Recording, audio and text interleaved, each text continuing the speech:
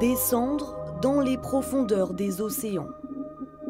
Seule, face à ses propres limites, Alice Modolo plonge en apnée pour battre un record du monde.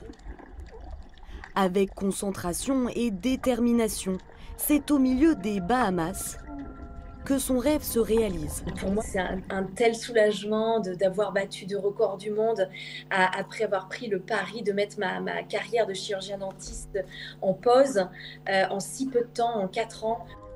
96 mètres, dans l'obscurité, seul témoin de son exploit, une palette décrochée. Dans cette épreuve, les poumons vidés atteignent la taille d'une simple mandarine. Du coup, il faut lâcher prise.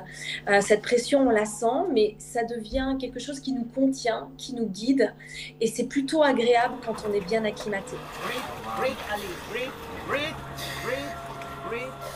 Retrouver le monde extérieur, reprendre son souffle.